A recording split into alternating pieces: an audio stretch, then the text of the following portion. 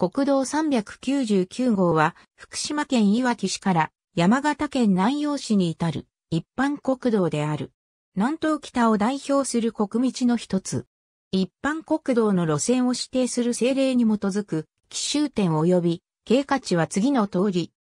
現行の道路法に基づく一般国道の路線として1981年4月30日、政令第153号の交付によって第4次追加指定され、翌1982年4月1日施行によって国道になった路線である。1990年代初期頃まで福島県飯舘村と月立町の町村境付近にダート区間が残されていた。2011年3月に東北地方太平洋沖地震を起因とする福島第一原子力発電所事故が発生したことにより路線の一部が計画的避難区域に指定。帰還困難区域に指定された地域は、飯舘村から浪江町までの一部区間が通行、止め規制になった。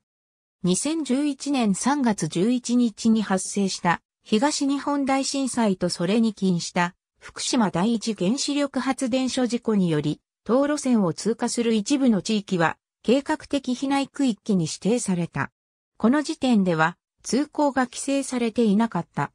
翌年に入り、避難区域の再編が行われると同時に、帰還困難区域に指定された以下の区間が通行止めとなる。15丁目交差点。2018年3月31日までの起点。左右に走るのは、旧国道6号。写真の奥の方向へまっすぐ進むとすぐに、岩木駅へ突き当たり、国道399号はそこを左折。いわき市場側交差点をいわき市方面から撮影。直進方向の指導との誤認を避けるためガードレールに標識が設置されている。前方の小規模な湿地は、いわき市指定天然記念物の内蔵湿原。国道指定以前設置とおぼしい旧式標識と橋の向こうへと続く国道399号。福島県川内村。いわき市小川までの工程は京愛路と急勾配が続く、福島県浪江町。阿武隈高地を縦断するルートでは、このような京愛路が多くを占める福島県伊達市内。国道4号との交点近く、国道4号方面から撮影。山形県高畑町内。県境、鳩本峠、近く、山形県側は、京愛なつづら折れの連続で強引に行動を稼いでいる。いわき市から阿武隈高地の峰越えを繰り返し、阿武隈高地の東西へ伸びる谷沿いに通る道路、集落を相互に連絡しながら、超過北上する。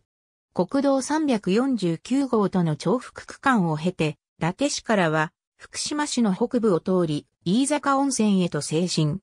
釣り上側からさらにその上流の稲子沢沿いに、遡り、途中では谷沿いに割り込んでいる宮城県七ヶ宿町を通る。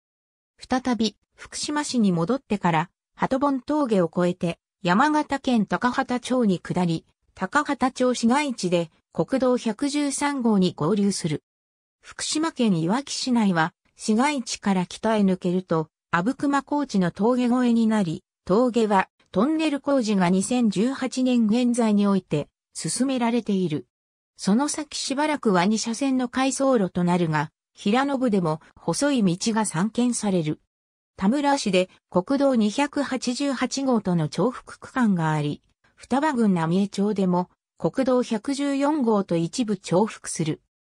国道114号からの分岐点以北は2011年の福島第一原子力発電所事故の影響で国道399号の一部が帰還困難区域に指定されて立ち入りできなくなっており、2018年8月の特別通過交通制度が国道399号の一部区間に適用されてからは通行規制区間のゲートより先は自動車に限り通過できるようになった。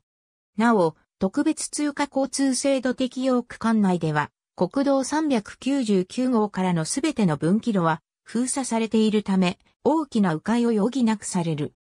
伊達市、飯坂温泉の市街地以北を過ぎ、福島、山形県境の鳩本峠付近は、いわゆる国道区間で、対向車とのすれ違いが困難な共愛道路が延々と続き、落石など恐れがある危険路となる。峠より山形県東沖玉郡高畑町側は杉並木の道になる。トンネル橋梁11月下旬から翌年5月下旬まで。国道13号線、東北中央自動車道及び国道113号線が迂回路になる。ありがとうございます。